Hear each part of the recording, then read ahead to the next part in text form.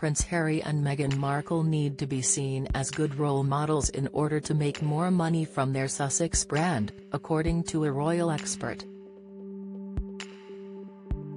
Express.co.uk's royal correspondent Richard Palmer spoke to Pandora Forsyth on this week's Royal Roundup about the couple's next move following Defence Secretary Ben Wallace's criticism of Harry on LBC on Thursday.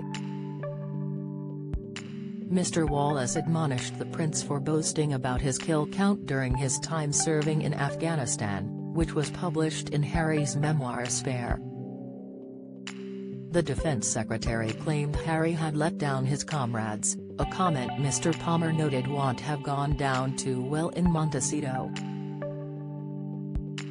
The fallout from Spare continues to dominate headlines surrounding the Sussexes, with the recent South Park episode parodying the couple and their desire for privacy adding further fuel to the fire.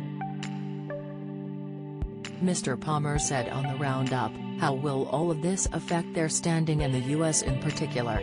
Commercially they need to have good brand value and be seen to be good role models to make the money that they need to make.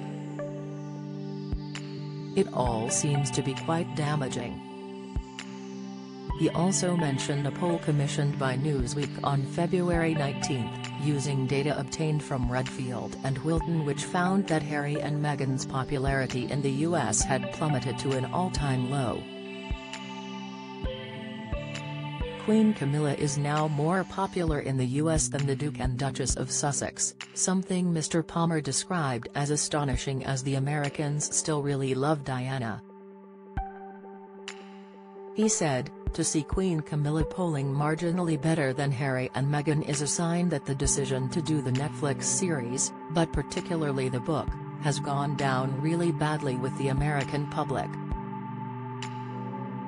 The Newsweek poll showed that Meghan Markle was liked by 27% of Americans and disliked by 44%, giving her a net rating of minus 17. Prince Harry was liked by 32% and disliked by 42% of those polled, which gave him a net approval rating of minus 10. Meanwhile Camilla did slightly better, as she was liked by 23% and disliked by 23% meaning her net approval rating is now on net zero. Harry blasted his stepmother in Spare for sacrificing him on the PR altar and said that he and William did not want her to marry Charles.